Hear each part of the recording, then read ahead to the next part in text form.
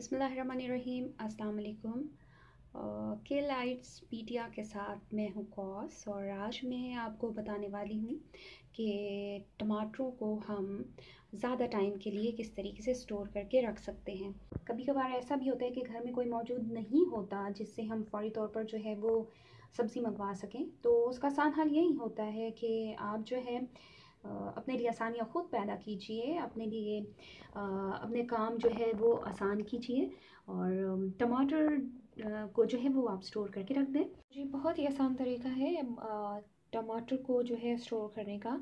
ये तकरीबन इस अगर आप इस तरीके के मुताबिक चलेंगे तो आपके टमाटर जो हैं वो पंद्रह से बीस दिन तक आराम से स्टोर हो सकते हैं। उसका तरीका ये है, हम स्कॉच टेप देख लेंगे, उसको काटेंगे और यहाँ पर हम और यहाँ पर हम स्कॉच टेप लगा देंगे।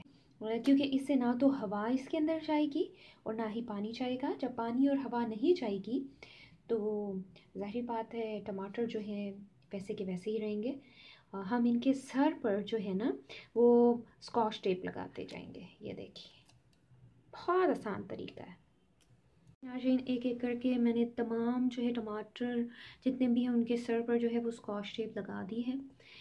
अब जो है हम इसको बंद कर देंगे, इसके ऊपर ढक्कन दे देंगे ताकि हम इसको फ्रिज में रख सकें। हम इसको अगर फ्रिज में रख देते हैं पंद्रह से बीस दिन तक तो ये ऐसे के ऐसे ताज़ा रहेंगे, ये ख़राब नहीं होंगे।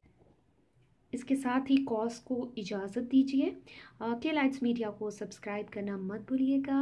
हमारी वीडियो को लाइक करना और बेल आइकन का बटन दबाना मत भूलिएगा। अपना बहुत ख्याल रखिएगा। अब हम इस पर ढक्कन देंगे और इसको फ्रिज में रख देंगे। इसके साथ ही कॉस को इजाज़त दीजिए। अपना बहुत ख्याल रखिएगा। अल्लाह हाफ़